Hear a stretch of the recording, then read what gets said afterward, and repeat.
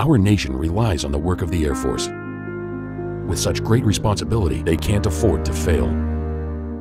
But when they're flying at 28,000 feet, they have to rely on their equipment, which is why they demand the best. For over 30 years, TAC Industries has partnered with the United States Air Force to provide the most trusted cargo nets. Each net is produced by hand with great care and attention to detail. Our nets are inspected, tested, and validated before every shipment. In all, we deliver over 3,000 nets a month. And in the 30 years of doing this, not one of them has failed.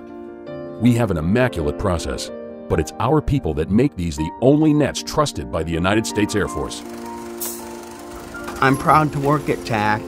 I've been here 28 years and I like to work all the time.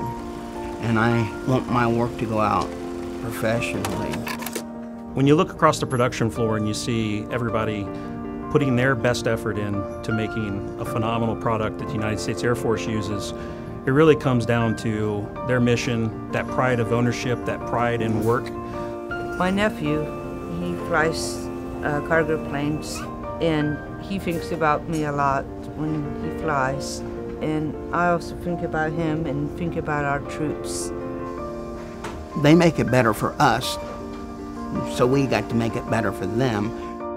I know I speak for the entire organization, and it's a great honor for us to serve the United States Air Force in their mission to move cargo across the globe and to serve in humanitarian and any type of mission that they feel fit. The nation counts on the Air Force, and the Air Force counts on TAC.